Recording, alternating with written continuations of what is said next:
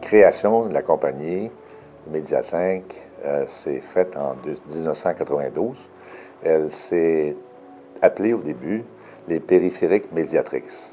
L'idée est venue d'une demande qui avait été faite par le bureau du premier ministre du Québec, à l'époque M. Robert Bourassa, qui cherchait à trouver des partenaires industriels pour reprendre une société en difficulté à Québec qui s'appelait Adlib dans le domaine des cartes de son pour ordinateur.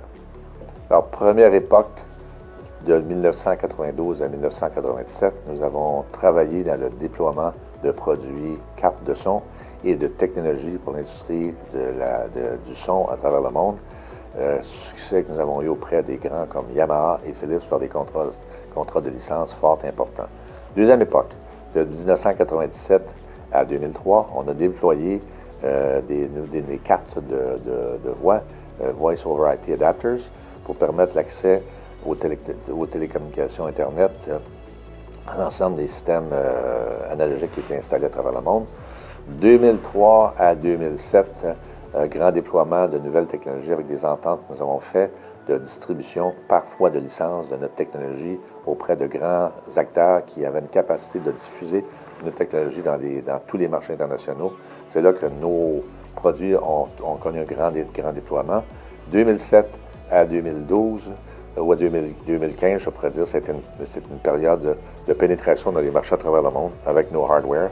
Temps que notre software était, bien connu, c'était une période de déploiement. 2017, on vient de commencer la pénétration d'un marché totalement à l'opposé, pas à l'opposé, mais à l'autre extrémité du food chain, c'est-à-dire dans l'installation de l'infrastructure des télécoms. Et après cela va venir la cinquième période, commençant en l'été 2017, en allant jusqu'à 2020. Ça va être euh, la création d'une constellation ou une galaxie de sociétés avec des, winners dans chacun de leurs secteurs qui vont appartenir à notre société de Sherwood.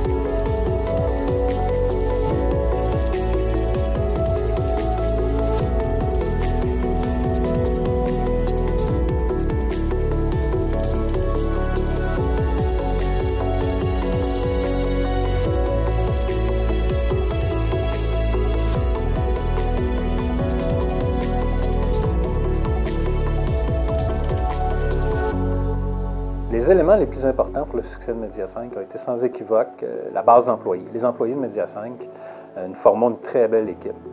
Nous avons beaucoup d'employés qui ont plus de 10 ans d'expérience euh, chez Media 5 et qui ont une très grande expertise dans les domaines de la téléphonie, du voice over IP, ainsi que les développements de systèmes embarqués.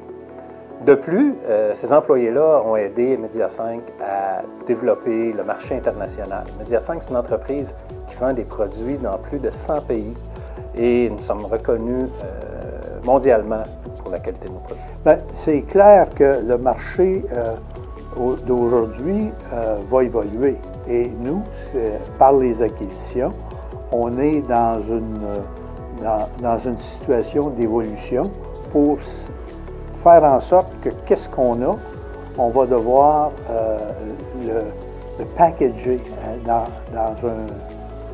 avec d'autres technologies pour avoir des solutions un petit peu plus complètes à ce moment-là. C'est de même qu'on voit l'avenir.